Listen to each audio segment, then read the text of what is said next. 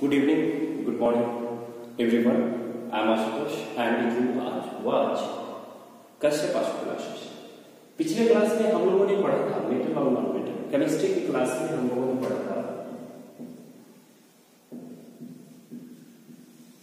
Chemistry की class में हम लोगों ने पढ़ा था मेटल्स और नॉन मेटल्स के बारे में ठीक तो आज हम लोग पढ़ेंगे सम मेटल्स मतलब कुछ मेटल के बारे में पढ़ेंगे और उसके कुछ ऑर्स के बारे में ठीक है?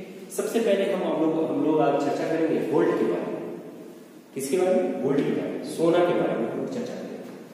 सबसे पहले सोना का जो गुण होता है, उसके बारे में। ये जो होता है नॉन रिएक्टिव एलिमेंट होता है। क्या होता है? नॉन रिएक्टिव एलिमेंट होता है।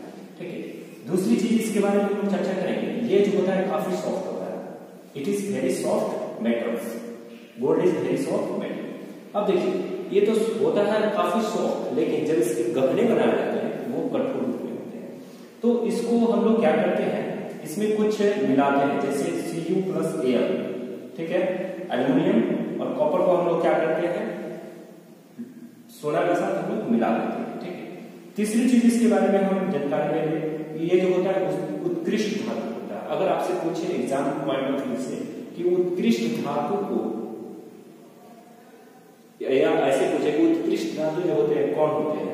उत्कृष्ट धातु जो होते हैं गोल्ड होते हैं, सोना होते हैं। हम इतना कोशिश ज़रूर करते हैं कि आप किसी भी एग्ज़ाम कंपटीशन में बैठे तो आपसे साइंस से रिलेटेड कोई क्वेश्चन नहीं छूटे। आप मेरा वीडियो देख रहे हैं। ठीक है? अब देखिए, ये जो होता है, क्या होता है? नोबल एलिमेंट होता है। क्या होता है? नोबल एलिमेंट होता है।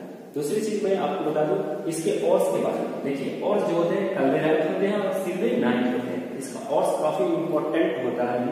सबसे महत्वपूर्ण चीज़ जो है ये है, अगर पूछ दे कि सोने के अयश पे, अयश का नाम होता है तो आप कहते हैं कैल्वेराइट और सिल्वेनाइट कैल्वेराइट और सिल्वेनाइट। अब देखिए, प्यूरिटी, सोने की प्यूरिटी जो होता है, कैरेट में मापते हैं। सोने की प्यूरिटी किसमें मापते हैं?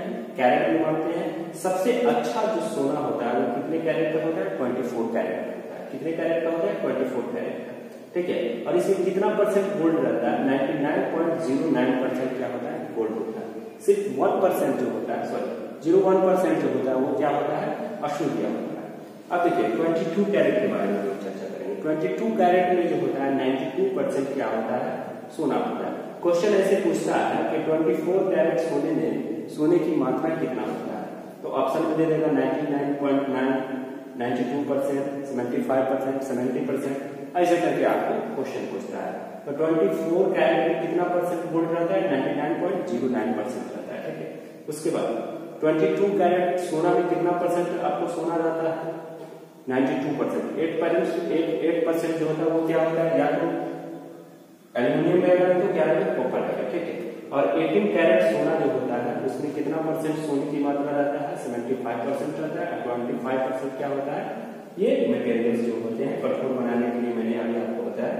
ये जो मटेरियल्स होते हैं सी यू एयर और एयर जो होते हैं, इसमें क्या किया जाता है? सोने में मिला दिया जाता है। इसके साथ ये क्या हो जाता है? कठोर हो जाता है। अगर मेरा वीडियो आपको पसंद लगे तो आप क्या करें? लाइक करें शेयर करें सब्सक्राइब करें। ठीक है? चलिए हम लोग आगे बढ़ते हैं। अब हम लोग आगे चर्चा करेंगे। अगर आप इसका स्क्रीन लेना चाहते हैं तो ले सकते हैं ठीक है हम हट जाते हैं।